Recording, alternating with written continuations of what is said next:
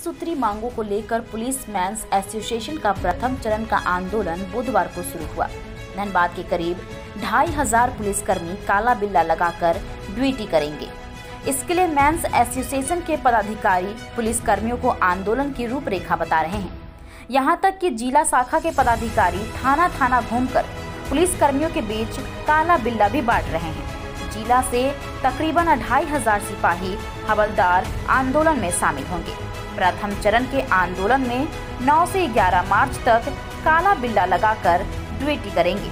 Association के प्रांतीय नेताओं के दिशा निर्देश पर राज्य के सभी जिला शाखा इकाई, वाहिनी एवं जिला से बाहर कंपनी पोस्ट, पिकेट पर प्रतिनियुक्ति जवानों को काला बिल्ला लगाकर ड्यूटी करने के लिए कहा गया है।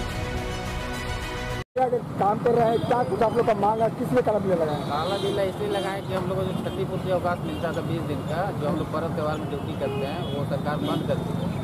इसी का विरोध में हम लोग काला बिल्ला लगा के ड्यूटी करते हैं। ये विरोध कब तक जारी रहेगा?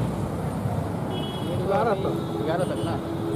ग्यारह मार्च तक। नौ से ग्यारह तक हम लोग काला करते हैं आप लोग। मांग है हम लोग का तेरह सूत्री मांग है जिसमें हम लोग का वर्दी इलाम चार हज़ार दिया जा रहा है दस हज़ार रुपया। बढ़ा करके बिहार सरकार को नहीं दिया जा रहा है।